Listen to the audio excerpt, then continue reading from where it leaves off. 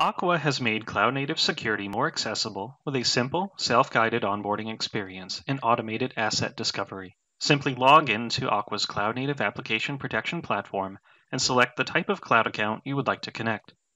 Aqua currently supports automated asset discovery for AWS with options to directly connect Azure and GCP cloud accounts. Users may also choose additional direct integrations, such as adding registries, serverless function configurations, and other cloud accounts. After selecting a cloud account platform, users can provide Aqua with appropriate permissions to perform auto discovery and configure a stack as the foundation for security risk analysis.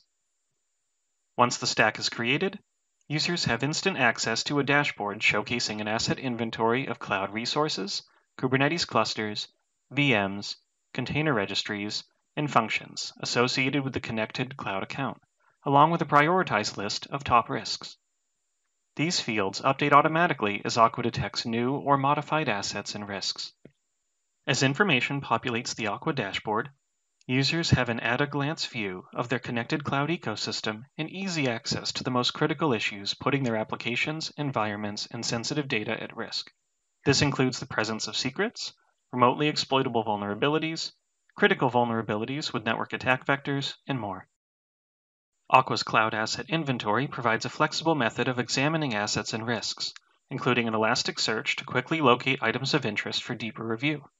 Users can search one or more attributes, including resource name, cloud provider, service, or region, technical details, and risk details.